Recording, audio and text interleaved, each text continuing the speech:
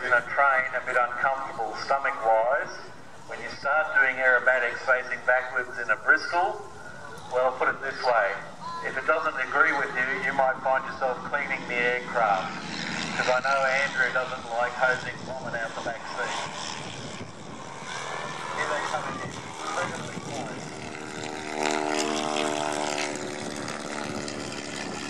From certain angles, you think they're going to run into each other. That's how Greg Sochi, and these are two very, very experienced pilots. Seriously, I'm